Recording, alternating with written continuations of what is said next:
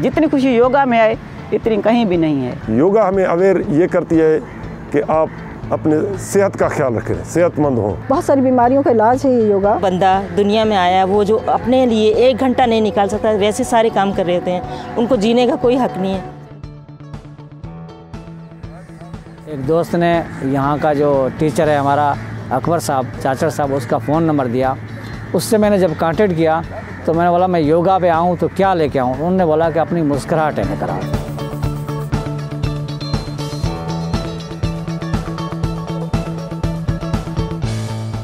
Yoga basically मैंने शुरू की थी ढाई साल पहले की बात है।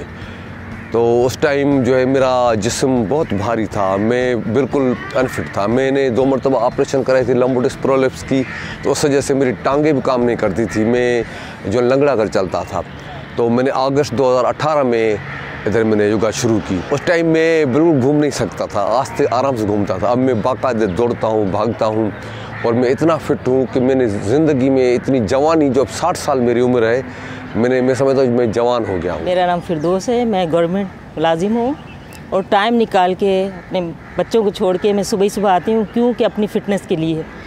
अपने हेल्थ के लिए, ताकि मुझे डॉक्टरों के पास ना जाना पड़े। 2017 में मुझे राइट साइड पे फालिज का असर हुआ। उसके बाद मैं बिल्कुल फिट ही हो गया था। और इलाज से मैं ठीक तो हो गया, लेकिन जिससे कहते हैं कि तंदुरुस्त होना, बिल्कुल चुस्त होना, फिट होना, वो मैं नहीं हुआ। मैं आज अपने आप को इतना फिट समझता हूँ कि मैं समझता हूँ कि शायद मैं जवानी में भी इतना फिट नहीं था।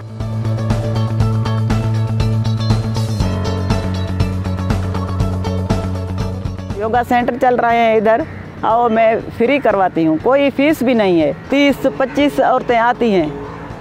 कोई छोड़ के चला भी जाता है नहीं कर सकती। योगा जदोजहद है बहुत। ये एक शौक है एक इश्क है। मुझे शौक हो गया योगा से। हमारे जो सर हैं वो बहुत ही अच्छा करवाते हैं। मैडम आती हैं रोज़ाना। फ़ंक्शन सारे काम करने लगे हैं अच्छे लंग्स किडनीज़ वगैरह। तो मसले होते हैं इंसान को बहुत सारे। बीमारियाँ बहुत सारी होती हैं। तो बेहतर महसूस किया मैंने अपने आप को। योगा इंसान के जिस्म की अवेयरनेस है, जिस जब आपका जिस्म मुकम्मल तौर पर रिलैक्स हो जाएगा फिट हो जाएगा तो फिर वो आपके माइंड का दरवाज़ा खटखटाएगा कि आप भी बेहतर हो जाए। तो योगा और मेडिटेशन बेसिकली दोनों कम्बाइंड ही है और इंसान को एक मुकम्मल इंसान बनाती है, जो जिसमें इंसान खुश रहता है, जिसमें इंसान को कोई फ़िक्र नहीं होती।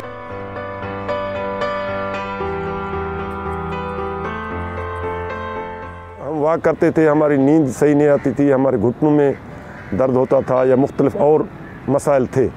जब हमने योगा शुरू की तो सारे मसाइल ख़त्म हो गए हमारी नींद बेहतरीन तरीके से आती है। जब हम इधर आते हैं ये सारे औरतें आते हैं हमसे पूछते हैं मैडम क्या हाल है? मैडम कहती हैं तालियाँ बजाती हैं तो मुझे बहुत खुशी होती है। मैं कहती हूँ बस तुम्हारी दुआएँ चाहिए मुझे और कुछ नहीं चाहिए। मैं सबको कहूँगी कि आए अपने लिए अपने बच्चों के लिए, ताकि आप सेहतमंद होंगे तो आप अपने घर को टाइम देंगे, आप अपने बच्चों को टाइम देंगे। योगा के सवा ज़िंदगी नहीं है।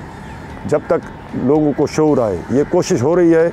हम भी कोशिश कर रहे हैं कि दूसरे शहरों में भी, सिंध में, पूरी सिंध में इसको फैलाएँ।